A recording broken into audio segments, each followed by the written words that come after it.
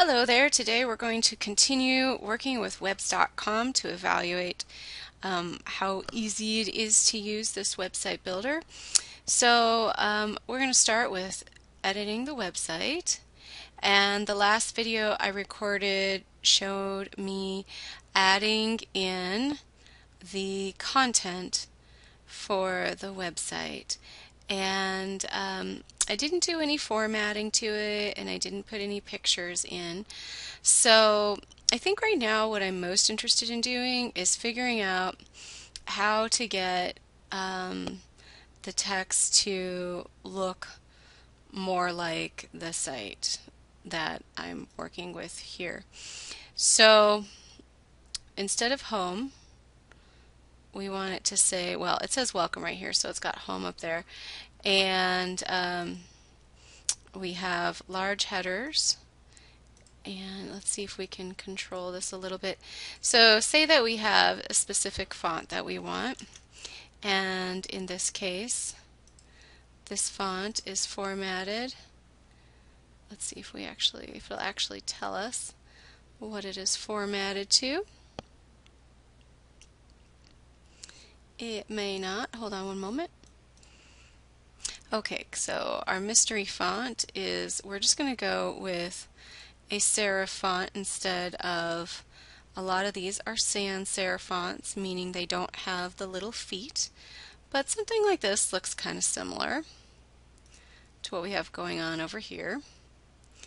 And size-wise, we can do this.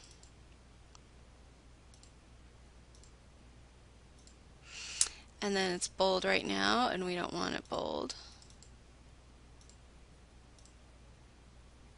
I don't know if we can get rid of the bold. Bold, no bold, strike through, underline, italics, and no bold. It does not appear. Yeah, I'm using the toolbar for more editing options. So increasing and decreasing font size is really nice, but if I want to increase or have this bold or not bold, I can.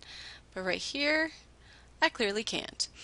So something that I would really like to see that I'm not seeing is I want the next font, Crimson Text, to be Crimson Text as well and I would like it to be the exact same font size as that right there, like it is here. But I don't get to find that out. So that I'm not a fan of. I would like to know what I'm dealing with here. And uh, might be just a little large there. We'll try that. So I'm going to go through and set all of my headers. Oh wait, I have bio. Hold on, I'll just go and order the drop downs here. So we have bio.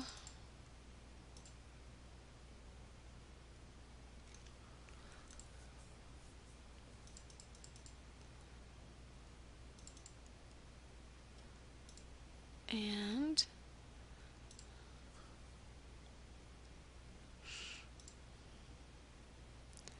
Lisa bio. And then we have bio up here. I wonder if I can change, well, I don't think I've included the testimonials. It said testimonials on the other one. And I did not include all of that. It's something I missed.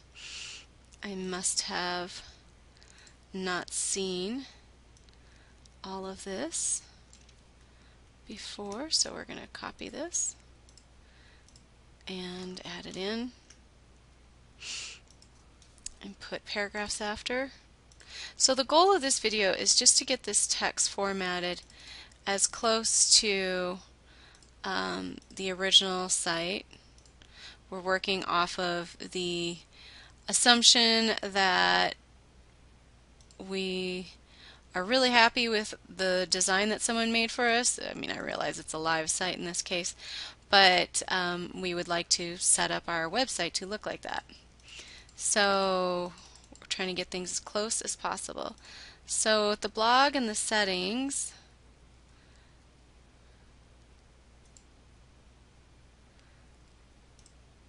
I, it doesn't look like I can customize that font. It looks like it is the way it is. And then I've got sessions and treatment. So I'm going to go ahead and set the rest of these headers. You get the point with all of this. I've got to go through each page and do this and I cannot copy over a style. Okay, so I've decided to get rid of this first header here since we have this header on each of the pages. And on some of them, that's the only thing I have.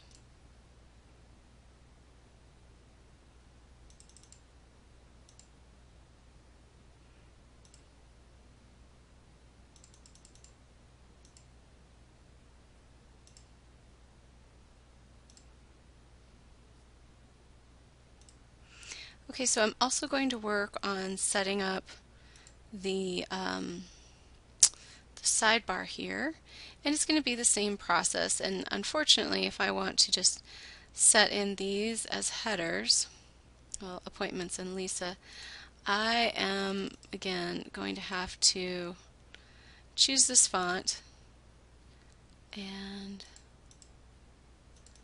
go through and select each one of these without being able to um, oops, without being able to uh, uh, make a you know like copy a style.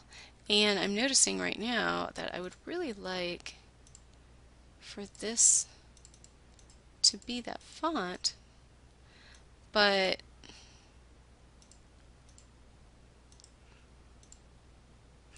I'm not having luck here just changing this one thing to the font. It looks like the whole thing has to be the font. So I'm going to go through and at least change appointments, but that's disappointing that I can't get, I can get that to be bold, but I can't get it to go to a different font without apparently selecting perhaps the whole thing. I'm not sure. Hold on. I'll try without boring you with the video.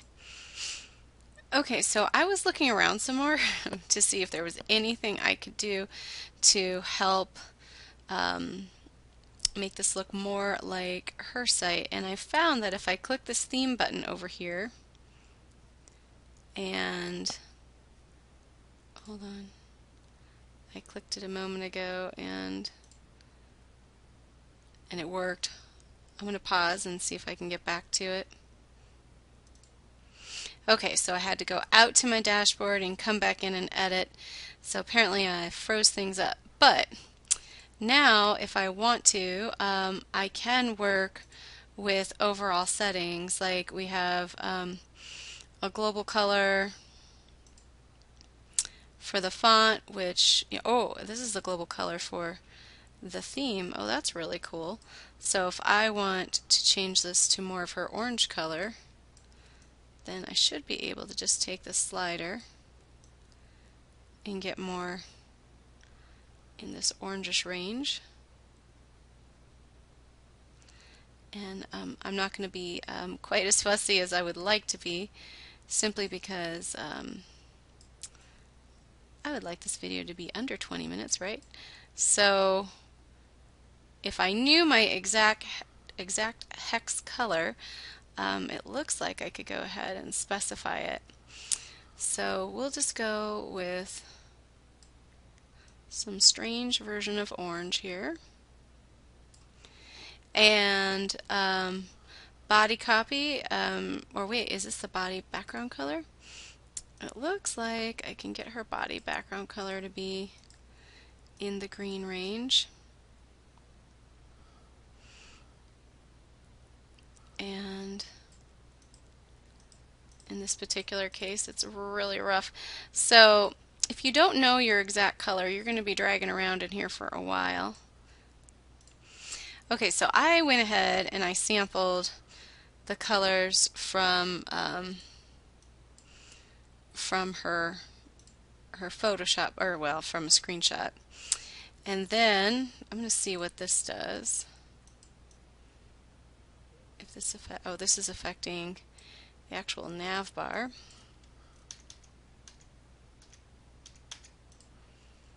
And the hover, instead of it being um, blue, we want the hover to be that red or the orange. And then body, um, we want the text here to be white. And titles, we also want them to be white. And here it's finally giving me a font size.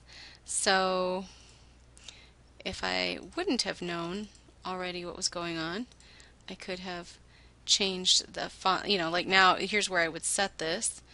And let's see, titles. not entirely sure what this is going to do, but we're going to set it anyway. And that looks, you know, I mean, I realize it's not this, but we're at least getting closer. So, um, and then we have, hold on, we have um, the rollovers here, which uh, she actually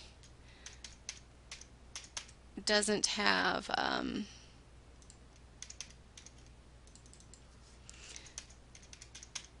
doesn't have them change color. And well, I think I'm going to though. Oh no I'm not. That's terrible.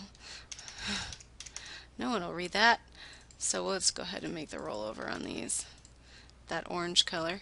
So now if you roll over these, it'd be nice to be able to set an underline on that. And the header, it looks like I should be able to change, well this is navigation, um, and subheader, we have background colors. Yeah, I don't see a place to put in my um, my headers for for this right here which I would really really like but somehow it's taking on this green which I want for the background but not for up here. So let me see if I apply here.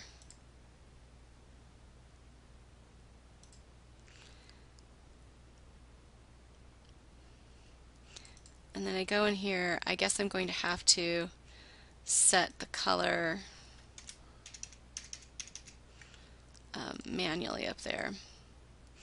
So I'll have to go through and override what it's trying to do. But anyway, so within probably about 20 minutes, because I did spare you the gory details of some of the more repetitive work, um, I've been able to get her colors in here. Uh, I'm not entirely sure how to change the background, but um, I, I was mostly focused focused focused wow on the uh, on the font today. So um, I was able to get a little bit further by changing those background colors out which helped get the font to where it needs to be. Oh no. And then we have this which is its own thing. Okay so that's not good. Um, we kind of want it to stay consistent all the way across. So it looks like I have a little more work to do getting the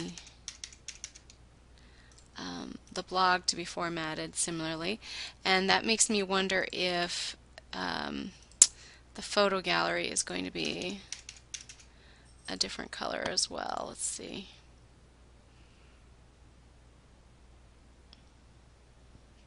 Yeah, unfortunately with this, I would have to go through and I would have to set the background colors for the photo, photo, photo gallery, and the blog. Even though I set them, it didn't apply to everything, which I think is a pretty big mistake because now I've got to go through and put all that stuff in again, which I'm not going to do. I'm going to leave that there as a reminder of, hey, that's not cool because it didn't ask, do you want to apply this to everything or not? And I would just assume that it would. So that's not good. Um, actually, changing the font face was not so bad, and it wasn't very hard to figure out how to change those background colors, but um, yeah, for it not to apply to the blog and for it not to apply to um, the photo stuff automatically when it's all based off the same theme, that's not so hot. So this is pretty much a 50-50 experience.